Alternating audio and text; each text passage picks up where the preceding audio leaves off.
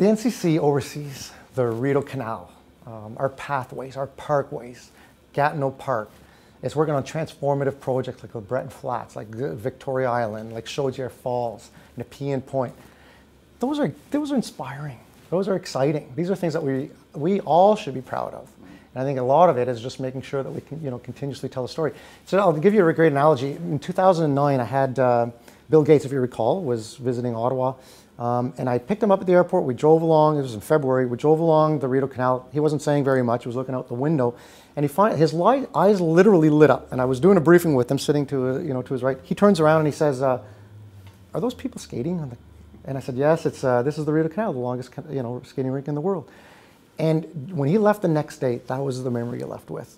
You know, you know, that was like, wow.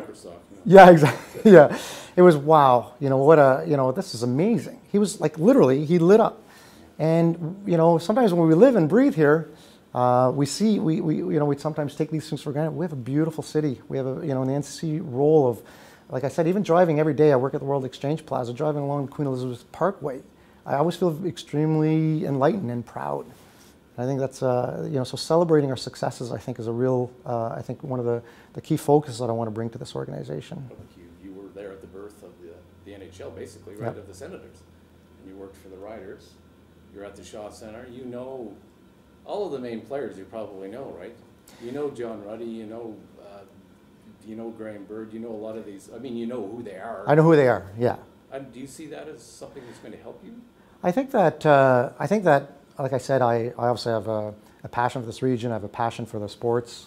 I think that the, the important role that the uh, uh, organizations like the Ottawa Senators or Ottawa Redblacks play in, in a community and the, you know how uh, they build profile, they br bring economic development to the region. But I think, you know, like I said, LeBreton Flats is more than just an arena project. It really is about a transformation of, of the downtown core. And um, you know, I've never met Mr. Melnyk. I've never met him, uh, but I think uh, you know, the, the major, the, all the various stakeholders that are involved in that project have the same goal in mind, which is to do something that's transformative.